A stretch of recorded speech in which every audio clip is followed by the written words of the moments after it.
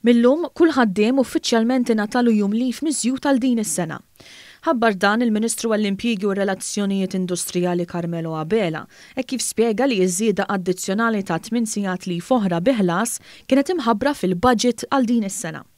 B'din il-ġurnata oħra leave, Din hija t-tielet sena konsekuttiva li l-Gvern qed irodd lura ġurnata leave lill-ħaddiema biex b'hekk jagħmel tajjeb għal ġranet tal-festi pubbliċi li jaħbtu fi tmiem il-ġimgħa. Għat-tielet sena konsekuttiva, il-Gvern Laburista żamm kelmtu mal-ħaddiema fejn dawk il-festi li jaqgħu s-Sibt jew il-Ħadd qed jingħataw lura lill-ħaddiema tagħna wara li ħaddieħor kien neħħihom, kien ħadhomlhom.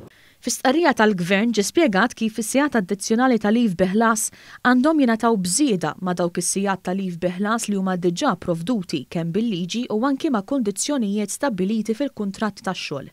Il-Ministru Carmelo Abela qal li b'hekk Gvern Laburista qed jagħti lill-ħaddiem jum ieħor fis-sena biex iqattgħu kif jixtiequ.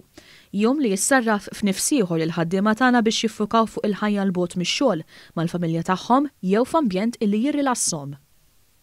Bħala Gvern kburin qed nippruvaw nilħqu u nagħmlu l-almu kollu tagħna biex dan il-bilanċ nilħquh ħalli b'hekk anki l-ħaddiema tagħna jkollhom dak mhux biss id-dħul xieraq permezz tal-ħidma tagħhom imma wkoll li jkunu kuntenti li jsibu aktar ħin biex iqattgħu flimkien mal-għeżież tagħhom.